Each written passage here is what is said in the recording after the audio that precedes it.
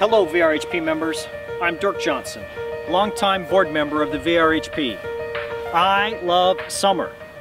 I am in the throngs of summer with my housekeeping department and many housekeepers now have had the opportunity to clean up many unmentionable things.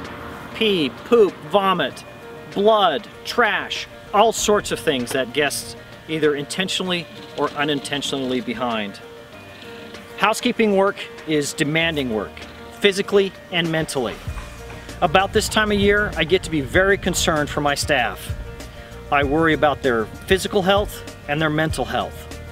And so I try to do something to break up the monotony. I try to do something to make them laugh and alleviate the pressure of the day so when they go home, they can feel good about the work they've done. Um, a great joke is always good.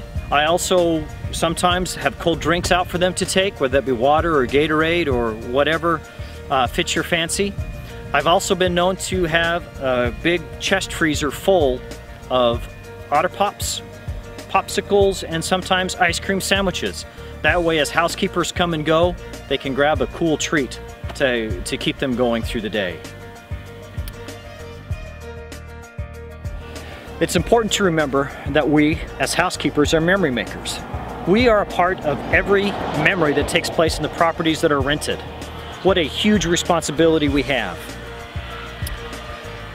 Discuss with your staff how important this is. Help them remember the big picture of why people are coming to stay. Yes, it's about our paycheck. More importantly, it's about the guests coming to stay and creating those memories that last lifetime or even lifetimes as those cherished memories are passed on. Take a few moments, think about your staff, think about what you can do for them in some wild and crazy zany way that fits you and your department and your company culture. And then take a few minutes and go do it. We appreciate your membership and hope you have a fabulous rest of the summer.